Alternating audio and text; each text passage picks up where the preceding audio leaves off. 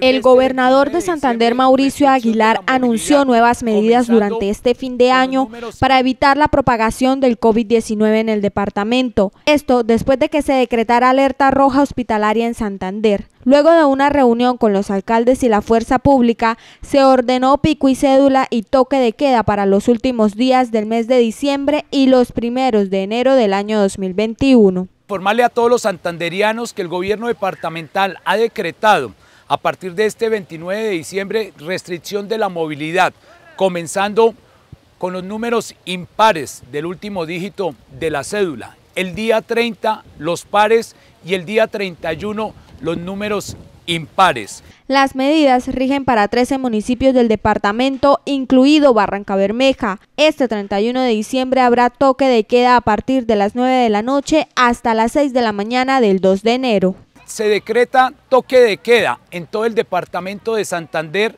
a partir de este 31 de diciembre, desde las 9 de la noche hasta el próximo 2 de enero a las 6 de la mañana.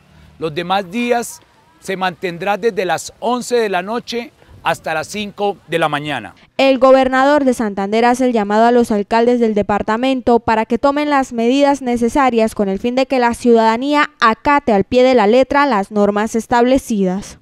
Al igual le hacemos las recomendaciones a nuestras autoridades, tanto alcaldes, policía, ejército nacional, para que haya estricto cumplimiento de los protocolos de bioseguridad en los centros comerciales, vendedores informales y también dejar claro que se prohíbe la venta de licor a partir de las 10 de la noche en todo el departamento. Seguiremos analizando y evaluando el comportamiento de la curva epidemiológica, de los casos de contagio y de personas fallecidas en nuestro departamento de Santander para tomar nuevas medidas en las cuales estaremos informando desde el puesto de mando unificado. Asimismo, se decretó que se eviten viajes dentro del territorio santandereano, se suspenden pilotos de venta de licor en bares y restaurantes teniendo en cuenta que está permitida hasta las 10 de la noche. Se pide reforzar las medidas de autocuidado, tapabocas, lavado de manos, distanciamiento social y el aforo permitido en los establecimientos y se aumentará el pie de fuerza en el control de protocolos para garantizar el cumplimiento de las medidas de bioseguridad.